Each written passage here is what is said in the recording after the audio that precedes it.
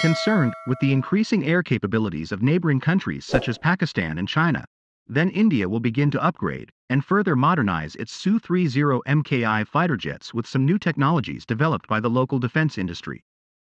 It is part of India's ongoing effort to upgrade the capabilities of its flagship fighter to a variant it calls the Super Sukhoi. The program to upgrade India's Su-30 MKI fighter aircraft will be implemented by the company Hindustan Aeronautics Limited, HAL, which is expected to cost 7.5 billion United States dollars, earn 33.7 billion, with all work done in the country. However, it still requires cooperation from the United Aircraft Corporation, UAC, from Russia.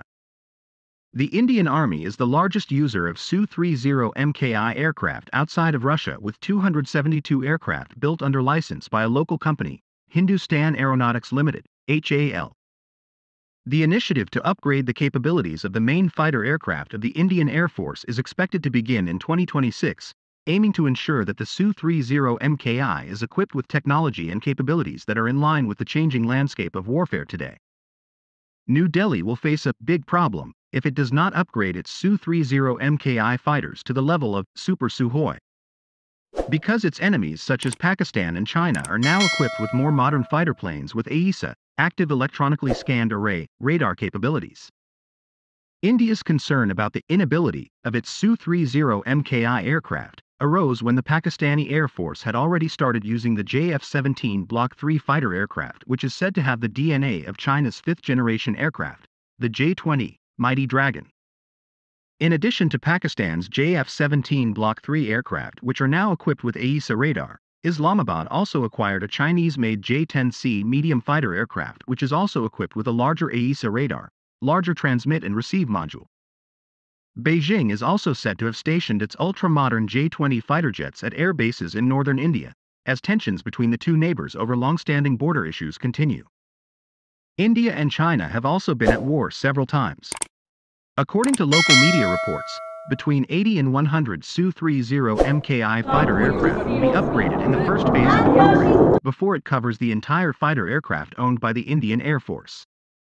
Even so, the upgrading effort will not involve the airframe and engine of the Indian Su-30 MKI aircraft. At this point, the Indian Su-30 MKI fighter jets use engines according to sources who informed local Indian media. The upgrade efforts will include equipping the fighter aircraft with Beyond Visual Range BVR, capabilities, new electronic warfare system capabilities and AESA radar. The AESA radar that will be used by the Su-30 MKI aircraft after the upgrade program is a variant of the local AESA radar, Uttam, which is being developed for the Tejas Mk-1A aircraft. According to the Indian defense media, the AESA radar that will be installed on the Su-30 MKI will have a larger transmit and receive TR module for more powerful target tracking and detection capabilities. In addition to the AESA radar, India's Su-30 MKI upgrade program will also see the fighter jet equipped with a more powerful flight control system, allowing it to be equipped with hypersonic missiles and other missiles. Under the upgrade program, the Indian Su-30 MKI aircraft will also be equipped with a new mission computer, a cockpit with a larger touchscreen display and a new weapons system package. The program targets about 25 Su-30 Maquis to be upgraded each year, with all of the aircraft being upgraded by 2034.